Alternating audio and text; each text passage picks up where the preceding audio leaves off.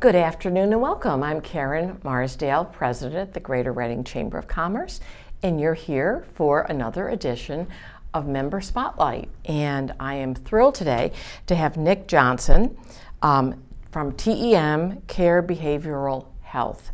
And Nick, welcome. Oh. Welcome. It's great to, to have you on board as a chamber member, and it's great to talk a little bit about your. Um, your program, and you know, it's something that I think many people um, certainly know about um, the the world of autism, but mm. maybe they don't have a complete understanding of the spectrum mm-hmm. and um, you know and the services services that are more and more available today than they were um, years ago. So talk to me first about um, what the organization is. I know you were founded in um, 2015. Sure. Um, and a fully qualified provider of services in Pennsylvania. Um, so, talk about this.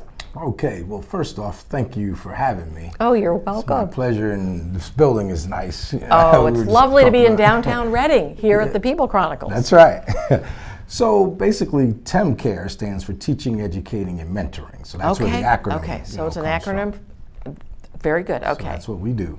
Uh, specifically, we work with adults with autism okay. through the adult autism waiver uh, from okay. the state of Pennsylvania. So it's a specific niche that we have okay. in population that we work with.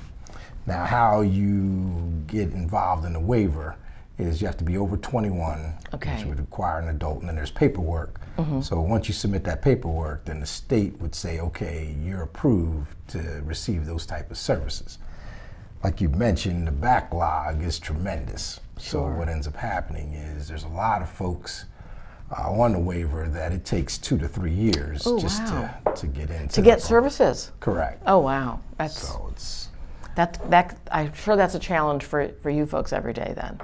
Well, for the potential participants. So mm-hmm. what happens with me? My phone rings all the time, mm-hmm. simply because what we do is we my home office is in Berks County here at the Berks Community Foundation. Okay. So that's where my office is. So say you take the Berks County, and as the crow flies, you go an hour and a half. We service seven different counties. Wow! Wow! Services. Okay. So we travel. So I always tell my staff to travel lightly because what we do is out on the road. Right. So that way we can reach a lot of uh, potential clients that we can work with. Okay. Okay. The specific services that we provide, we work with ones with behavioral issues, community support, skill building, and therapy okay. and respite service. So it's again, it's a specific. The reason why we focus that, a lot of my staff, our background was in mental health. Mm-hmm. So that's where we came up through. So what ends up happening is you have a lot of analytical folks who mm-hmm. want the data However, what we do is we deal what I like to call where the rubber meets the road. The actual behaviors, not everybody's equipped to do that. Sure. But because of my background in mental health, mm-hmm. uh, we're equipped to, to handle the hiccups, I like to call that sure. come up. So um, now, when you say you're on the road and your staff is on the road, where are you actually meeting the patients? Well, what happens is the clients, or clients. you meet them at their residence. Okay. 95%. And keep in mind, they're adults right. that, that you're working right, with. Right, so you're so, in the adult population as opposed to the student population. Correct. So that you have a lot of autonomy and flexibility simply right. because you could meet at the home, you could meet at a place where you can mutually agree, but it's to help them, give them the skills to be successful in the community. Sure. So it's not just staying at home. So years ago, there was a sect that dealt with mental health and mm-hmm. our folks who they didn't understand the diagnosis. They wanted to lock them away and, and put them away, which, quite frankly, we learn from the clients just as much as we teach them. Sure, absolutely, uh, so absolutely. You know, I think there probably isn't as I mean, it's it's something. Um, you know, autism, um, while it's something I'm sure that people struggled with for years, there really wasn't a diagnosis or a name so that people could start to get the the help and the assistance that is is evident today that's out there. Correct. You're 100% correct. So, to your point, if we don't have a label for it, then we put them in this basket that we don't know. But Right. it's unfortunate because the services that they might need, they're not getting. But Right. now the awareness is going kind of 180 degrees, full circle, Yeah. so we're aware. And I still think that there is um, um, more need for awareness of autism and that, that there's a spectrum as well. Um, you know, and I'm talking what I know you could put in a thimble, but I do know um, my daughter's a guidance counselor, so Okay. um, she often talks about, you know, s- some of the behavioral um, challenges and, you know, how you need to understand um, that things are that we're moving in the right direction at least with more um, services and also more understanding and more diagnoses Correct. And quite frankly, and you can share this with your daughter, which she already knows, a lot of it times it's a dual diagnosis. It's not just autism as Sure. a standalone. There might be something else involved. So where some folks again they don't understand. So now well, what happens with the population we're working with? They might have been with their caretakers. Some of them they've been living with their parents. They're 27, 28 years old. sure Mom and dad are tired. sure Mom and dad aren't going to be here forever. Right So right there's also good point a concern does the client or participant have the skill set where they can be self sufficient, mm-hmm. independent, and live on their own? Well, who's going to work with them? right So we've been very successful with some of our participants slash clients, getting them out on their own. Now, when they get out and their, have their apartment for the first time, there is a lot of support that they need, but it's just fantastic. Mom and dad are relieved. Oh The sure participant is relieved, scared and nervous, like most would be.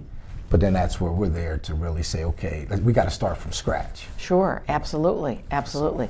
Um, so, can you um, can you share some of the sort of the great stories that you might have of a client um, or participant who has, you know, where you've take where you where you've. I would imagine sometimes parents are a little bit um, um, protective, and so you've had to kind of deal with, you know, overprotective or protective mom and dad or mom or dad and or other other family members and then they're at the end they see wow this is a great great um, opportunity What makes us special? And I say that in all due respect. No, to no, some I'm glad you're saying that. Providers, a lot of the clients that I get, I either get them on two, the two ends of the spectrum, for lack of a better term. The one is that they're brand new into the waiver, so Mm-hmm. we'll get them brand new. Or two, we had we get a lot of the clients who were with other providers and they weren't happy. See what happens is if the if a, a participant or client chooses a provider and they work with them, and then they leave and they say, "Well, we're unhappy."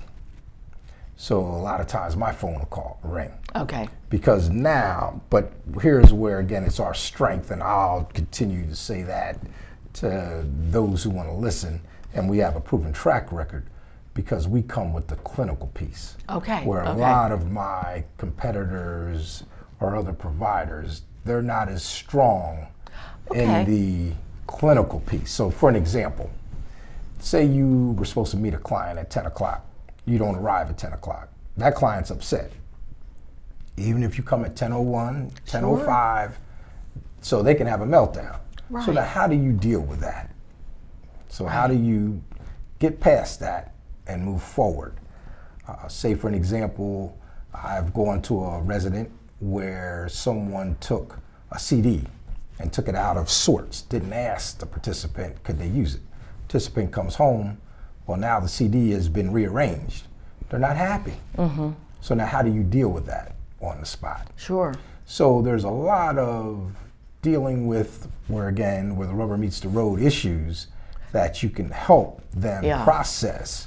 Okay, this is what happened. How do we make it better in order to move forward? and i would imagine that you really do you and your staff have to be very um, qualified to be able to it just doesn't happen overnight because you've got to be able to see some of the signs you've got to be able to understand where the client is coming from and then how to react to that um, in order to make for a positive outcome. That's correct. And, what I always tell the staff, we got to meet the client where they are. Sure. Oh, So sure. What ends up happening is some of the supporters who might have applied for the waiver for the participant, they want a quick fix. Oh, so sure. what I say to them, first of all, the participant didn't get this way overnight, so it's going to take time. However, because when we come in with our approach, which is positive reinforcement, Mm-hmm.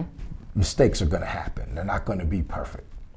But let's not take a little uh, molehill and make it into a mountain. Right, right, exactly. The exactly. sun's going to come up tomorrow. Right, right, exactly. and will this this particular incident matter in five years? Probably not. Correct. Well, I know we're running out of time because this is a very, very interesting, um, and I think it's a um, really meaningful topic because I think folks still, you know, lay people don't know as much as they probably should, and um, and I think we're just being um, provided with more information more and more these days um, through educators like yourself, and um, so one one last time, tell our audience what makes your organization. It just sounds like you do do such a um, one-on-one, customized. You're working one client at a time. Correct. Um, but you say it and tell them why you think that's the case. Okay. Again, one of the things I want to again thank you for Oh, your it's my pleasure. Staff here has been great.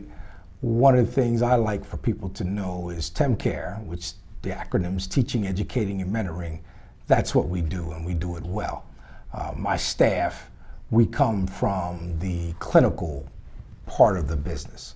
For an example, I have a behavioral specialist license, so that's licensure that goes along with what it is that we do.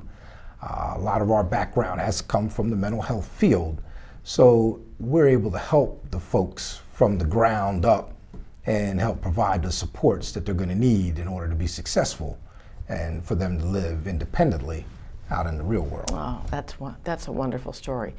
Um, thank you for doing the work you do. I really appreciate that. Um, it, uh, I'm sure it takes just a very special person, people who are bright, but people who are very dedicated and passionate. So, thank you for the work you do, Nick. It's great to it's great to meet you. Well, same here, and thanks for having me. Oh no, it's my pleasure.